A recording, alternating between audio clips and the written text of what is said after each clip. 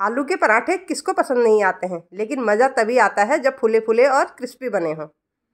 तो आइए आज बनाते हैं आलू के पराठे जो बिल्कुल फूले फूले और क्रिस्पी बने होंगे।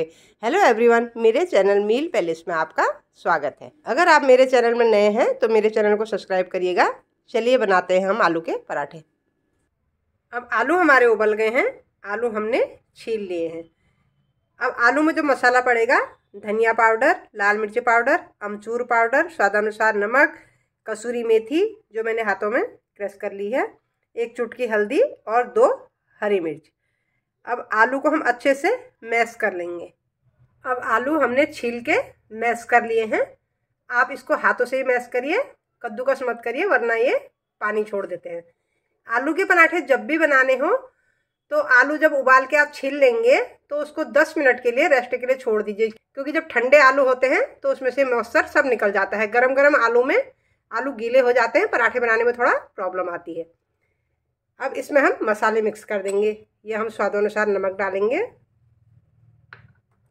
धनिया पाउडर अमचूर पाउडर लाल मिर्च और कसूरी मेथी। और एक चुटकी डालेंगे हल्दी। हल्दी हम ज़्यादा नहीं डालेंगे यहाँ पर। और कटी हुई हरी मिर्च और हरा धनिया हम दबा के डाल देंगे। प्याज यहाँ पर हम नहीं डाल रहे हैं। अगर आपको प्याज खाना है तो यहाँ पर इस पॉइंट पे प्याज डाल सकते हैं। अब इसको हम मिक्स कर लेंगे अच्छे से। अब यहाँ पर इसको हम मिक्स कर लेंगे। चम्मच से भी कर सकते हैं आप हाथ से भी कर सकते हैं। और जो थोड़ी सी आलू में गांठ है, इसको हम ऐसे चम्मच से दबा देंगे।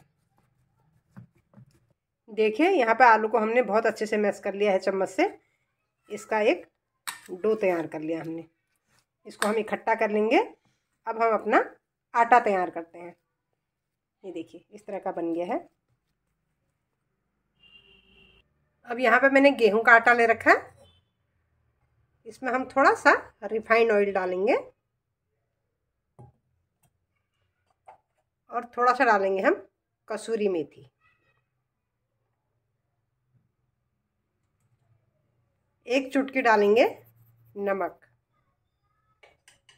इन सारी चीज़ों को हम मिक्स कर लेंगे हाथों से और गुनगुने पानी से इसको गूद लेंगे। नॉर्मल आटे की तरह ही गूदना है ये। बहुत ज़्यादा टाइट मत करिए, क्योंकि टाइट में आलू बाहर निकल जाएगा।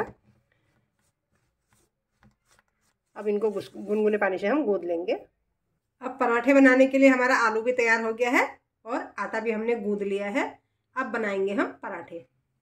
अब हम सबसे पहले लोई तोड़ेंगे। अब इसमें हम थोड़ा सा सूखा आटा लगाएँगे।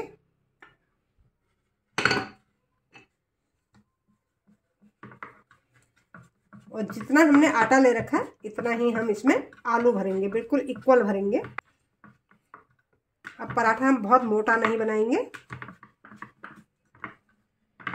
ये देखिए, इतना मैंने बेल लिया है। अब इसमें भरेंगे हम आलू।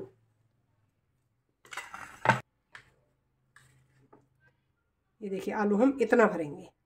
खूब भरा भरा पराठा बनाएँगे। अगर हम आटा ज़्यादा लेंगे, आलू कम लेंगे तो खाली आटे का ही टेस्ट आएगा, मसाले का फ्लेवर कम आएगा। और इस तरह से हम इसको फोल्ड करेंगे। ऐसे करके इसको हम दबा देंगे।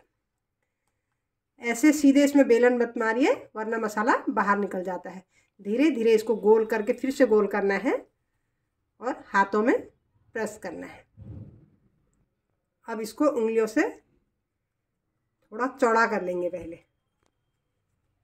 ऐसे फैला लेंगे।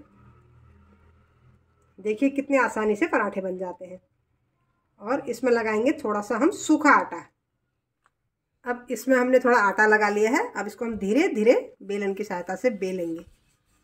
और घुमाते हुए बेलेंगे। एकदम बेलन नहीं चलाएँगे, वरना मसाला हमारा सारा बाहर निकल जाएगा। ये देखिए, इस तरह आप पराठे बनाएँगे तो कभी मसाला बाहर नहीं निकलेगा। इक्वल पराठे बनाएँगे। चारों तरफ़ लेवल में मसाला जाएगा। ये देखिए, अब इसको हम तवे में डाल देते हैं।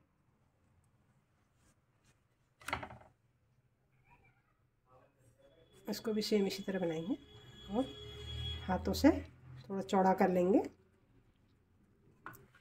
इस तरह चलाते रहिए और हल्के हाथों से बेलते रहिए। मसाला चारों तरफ़ इक्वल घुस जाएगा। पलटते रहिए। ये ये देखिए हमारा दूसरा पराठा भी तैयार हो गया है। चारों तरफ़ से दबाते हुए इनको ऐसे प्रेस करते हुए सेकिए। अब इसको भी हम निकाल लेंगे। इसी तरह हम सारे पराठे सेक लेंगे। आज पराठे हम देसी घी में बना रहे हैं, जिसका लिंक मैं कमेंट बॉक्स में डाल दूँगी। और इसको हम लाल मिर्ची के अचार के साथ सर्व करेंगे, जिसका लिंक आपको कमेंट बॉक्स में मिल जाएगा। कितना क्रिस्पी पराठा हमारा बन के तैयार हो गया है। और इसी तरह हम सारे पराठे बना लेंगे। अब इसको हम निकाल लेते हैं। ये देखिए, कितना क्रिस्पी पराठा हुआ है। एक काट के आपको दिखाती हूँ।